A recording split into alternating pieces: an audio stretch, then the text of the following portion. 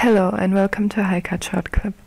In this video I'd like to show you new features in sheet metal. I'd like to start with the sheet metal ribbon where the placement of individual functions has been revised. For instance, up here the function connecting sheet has been pulled in and all this has been summarized here in new. In addition, there is another complete revise, the flange along sketch function.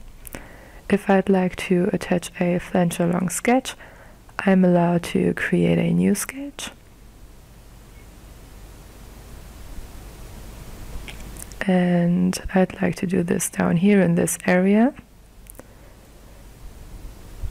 Turn it in accordingly and start to draw my sketch in this given area where I would like to attach the flange.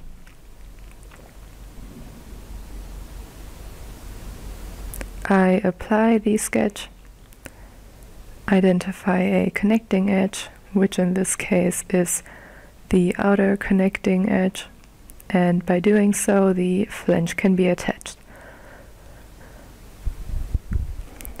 So far this has been one new feature. Another new feature concerns attaching a flange to, namely if there if a flange to be attached is larger than the actual base sheet. Once again I'd like to attach a flange here and I would specify the first point in this dialog which is relative from this point to minus x 200 and the second point from here is 200 positive.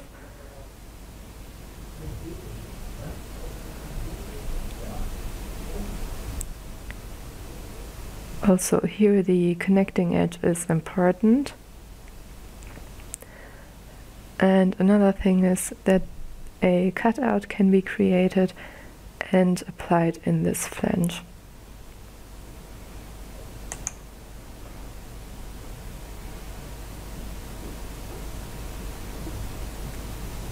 This has been another new feature and the next one concerns the data exchange function where the development to DXF has been revised.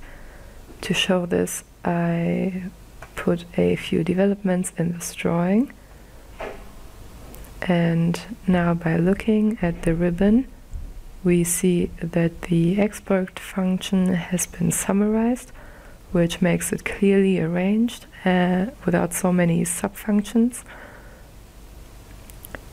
I still have the option to create a DXF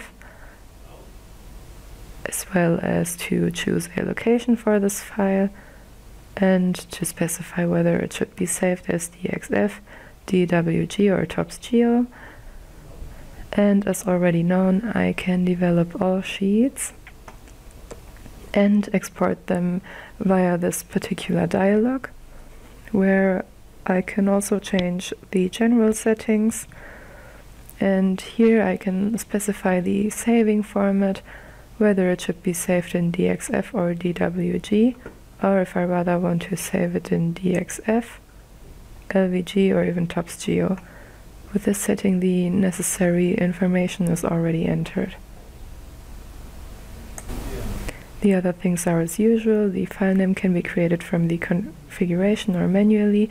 The mode of development can be specified, whether it should be complete as it is here, with the bend angle or bend line.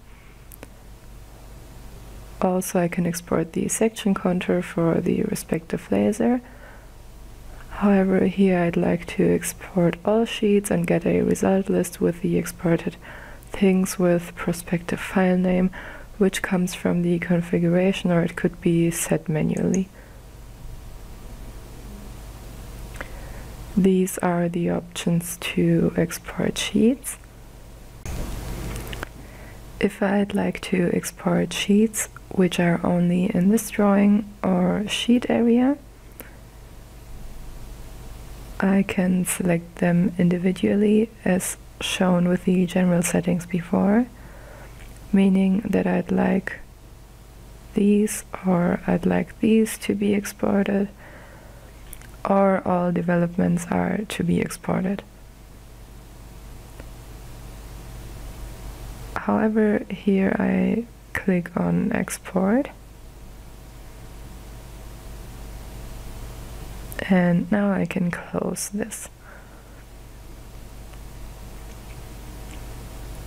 Additionally, a report should be issued so that it can be included in the drawing to provide further information, for example, for the employees of production. Okay, that's it. Thank you for watching this video. Bye.